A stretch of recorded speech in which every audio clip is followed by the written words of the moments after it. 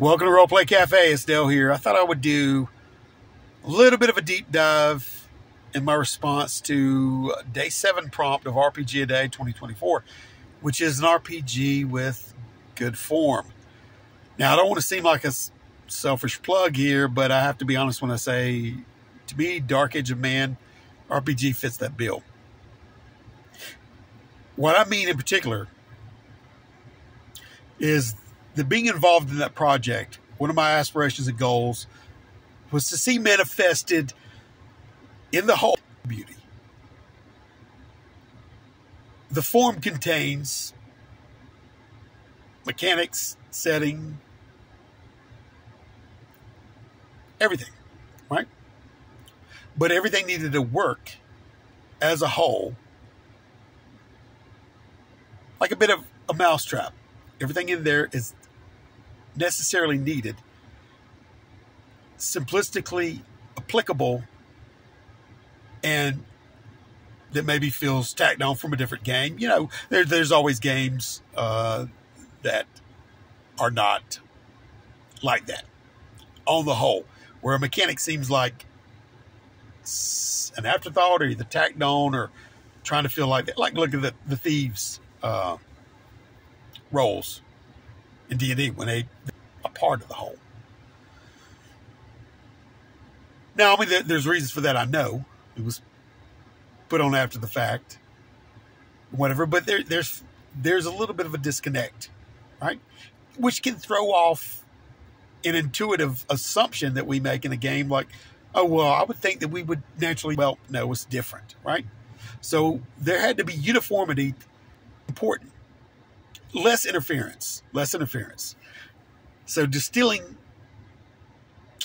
uh, basic attributes, which attributes and things like attributes and rolling above a number are kind of ingrained in in this in the hobby as an intuitive assumption. So when somebody says down, if you throw them a different, so we wanted to step away from that.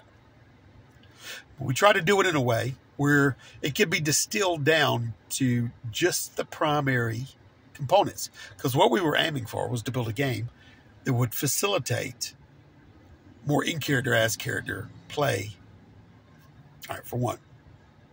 So, characters that could be developed inside of the setting, as well as a setting that would that would require repute being a primary attribute that it was important to the inside of this society. So it needed to be represented too, as well as the luck, which was the catch-all mechanics. Those are the base, the core. Everybody can understand. We did it in a way even more simplistically that you didn't have to roll three to eighteen to devise what what point would be added, what attribute point would be uh, added to uh, your roll. Distilled it down to the point of fracturing from the focused intent of the game. We needed simplistic engine. And it's a little bit it's funny because it's like you think simple is easy. No. There's a lot of so when we do that, what is necessary? What is universal? What is utilitarian? What is intuitive? Those criteria to make the whole to bring it down to that. And it could be extended into, uh, yeah, they could be, e- you know, easily represented. You know, we had that aha. Yep, yep, it's built in. It's built in. You can get negative components to your your mind score. Okay, you become sick. You become diseased. If you've got some kind of your repute in society. If all of a sudden you're an outlaw, then you get negatives on that, right? It's the point is it's distilled down to a base thing that can be applicable across these base attributes. Whether you bring them up, bring, that's added to your or subtracted, you know, to your detriment or to your benefit in game as you play. The a part of that form had to be realized that in that it is an extension of their representing their player character in play and the presenter from the world's position. So when they're utilizing it, there is to me a beautiful harm. To retcon this go back a step. We purposefully as well as beneficially don't create more interference. We purposely don't put guide rails up.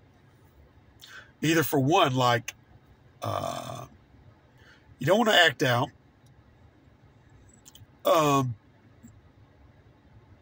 that should bind people at the table to a certain uh, level, even as that character, to act as a you you want to play uh, authentically to your character or to yourself, and for the situation that is coming down the pipe toward you. It's being in play, represented fluidly with minimal uh, weights and measures through what is transpiring at the table, through narration. And you can see this to more so readily be able to respond what is what is happening. But we needed that flow to go. The players to have a like I said, there's no extra rules of God rules, guidelines that that mandate what players that line they needed to walk. We eliminated that from one. Social contract keeps people bound. Automatically it's there. It's not part of what we need to to incite some engagement in player cre- creativity. There is purposely like if you're playing, for example, a mage, you will engage in the world. You automatically, intuitively, live in the moment, see what is transpiring, to address it. But everyone knows the weight of that description will bear up or down with what you're trying to accomplish. So it naturally anchors you as a player, and in this case, as a mage, to how extreme you want to go. And in situations, you may be backed up to where you have to do something extreme to get out of a situation. But their attempts, the people at the table have, how this affects this accomplisher, something that may be a little bit outside of the, the realm of what uh, my abilities may allow me to readily do, which those numbers that you have, as far as on your attributes, defined your ability. Second precarious overall, yeah. I may be able to intimidate of lesser. This is universally applied in that uh, form